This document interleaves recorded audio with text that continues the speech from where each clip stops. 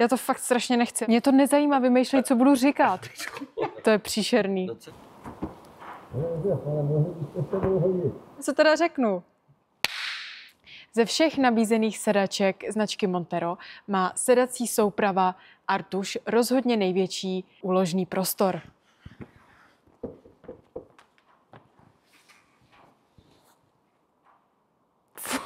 Já nemůžu říct snad, že já zase to zavřít. To je hrozný. Josef, vidíš mě?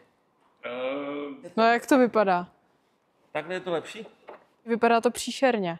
No to nejde, já si na to nesednu. Ze všech sedacích souprav značky Montero má sedačka Artuš rozhodně největší úložné prostory. No, snad žije.